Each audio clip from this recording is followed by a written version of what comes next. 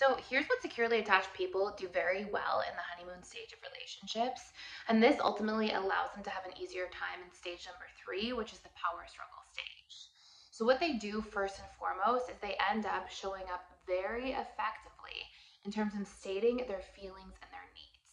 So they feel comfortable sharing what their feelings are with somebody they're dating, and especially somebody they're investing into a committed relationship with.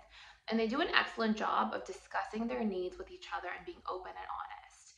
They also do a fantastic job of stating their boundaries with people that they love, and they show up very authentically that way.